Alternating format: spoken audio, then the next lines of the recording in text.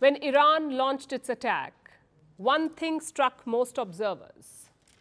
Jordan shot down the Iranian drones and missiles. Jordan, a Muslim Arab nation, took up arms to defend Israel. A country with a queen of Palestinian heritage defended Israel. A lot of others helped in secret. Reports say that Saudi Arabia and the UAE were also involved. They shared intelligence about the Iranian attack. This was not some betrayal of the Iranians or the greater Muslim cause for that matter. It's nothing like that. Iran wanted the Arab countries to pass along this information to the US. Iran can say it attacked. Israel did not really suffer any serious damage. The US can say they protected their ally. And the Arab countries, minus Jordan, can pretend that they're not involved. Everyone wins. Well, except the Iranian, Israeli, and American taxpayers. They paid for the fireworks show after all.